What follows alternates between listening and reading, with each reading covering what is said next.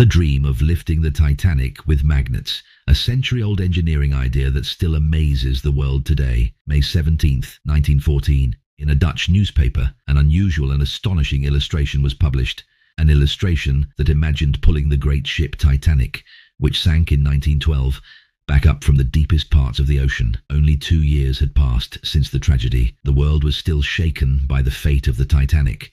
People were desperate to see its wreck, to raise it, and to complete the tale of what really happened.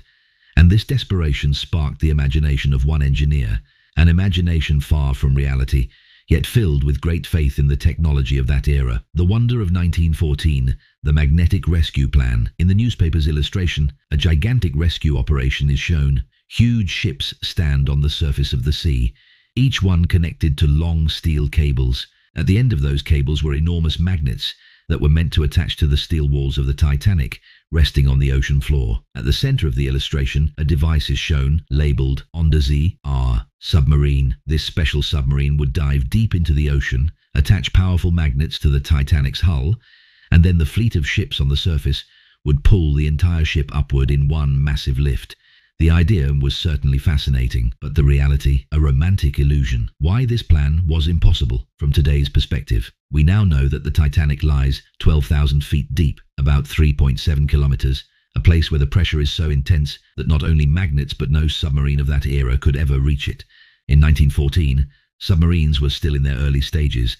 Industrial magnets were primitive, deep sea exploration was nearly non-existent, Yet the belief and courage of humans in that era were extraordinary. That engineer thought, if metal can be lifted by magnets, then why not the Titanic? It seems humanity at that time believed that science could unlock every door, even a door hidden in the dark depths of the ocean, an idea, a symbol. This illustration was not just a technical proposal, it was an expression of a deeply human desire, the desire to bring back what was lost. The Titanic was, at that time, nothing more than a memory, a wound, and a mysterious story. Its true search began only in 1985 through robotic missions, but in 1914 people tried to see it through the power of imagination alone. This drawing also reminds us that humans have always dreamed of making the impossible possible, whether that dream sinks into the sea or rises into the sky. Conclusion This diagram from the Dutch newspaper now appears to us as something that makes us smile and wonder. It was not science, it was the power of imagination, it was not reality. It was the restlessness of the human heart. And maybe that is why the story of the Titanic, even after a century, still lives in humanity's memory.